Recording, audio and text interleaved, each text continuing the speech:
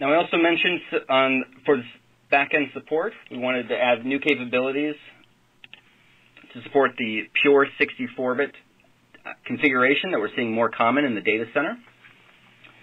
In this case, I have a 64-bit application, and its traditional setup uh, is designed to be kind of hybrid. It has some 32-bit code, some 64-bit code. So the first thing I need to do is make sure that my MSI is set to be a 64-bit MSI. And that's in the template summary. And then down under the release options, product configuration. When it comes to the architecture, I want to tell it to be strict. No longer can it float between 32 and 64. This is strictly a 64-bit application. So now when it builds,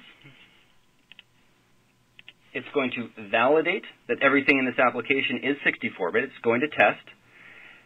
And it's going to build an MSI where all the custom actions uh, that are included by InstallShield have been upgraded to 64-bit custom actions.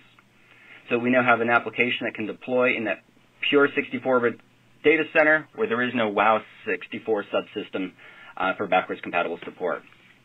And in this case, it found some some files, some DLLs and EXEs that were 32-bit, and it warned me accordingly.